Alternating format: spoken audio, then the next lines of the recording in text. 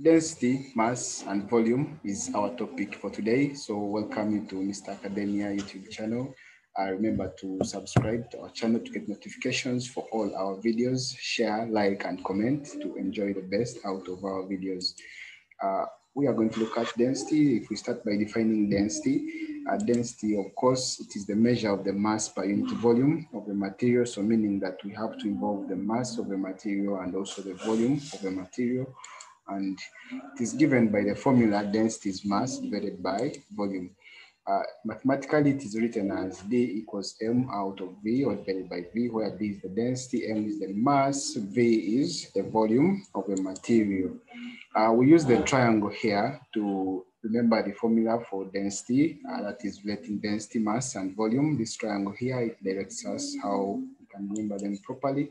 And, and we basically can use this by just covering up what we want. For example, uh, if we want density, uh, if you want density, we shall have to cover density. If you want mass, you shall have to cover mass. If you want volume, then it means that you have to cover to cover volume to get the formula for finding the volume. For example, in this case here, we have covered uh, the mass. So we remain with density times volume. That means that mass is given by density multiplied by volume.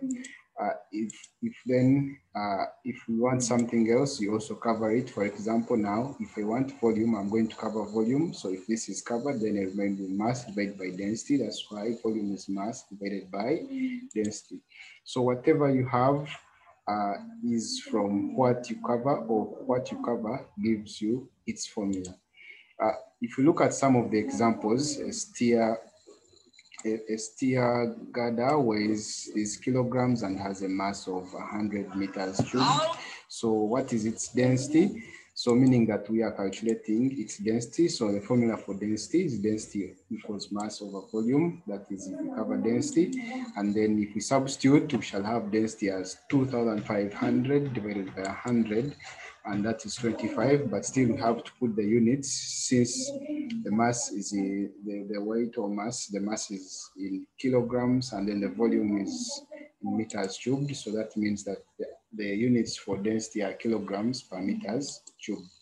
So we always have to put units for density, and in this case, it's kilograms per cubic meter, so meters cubed.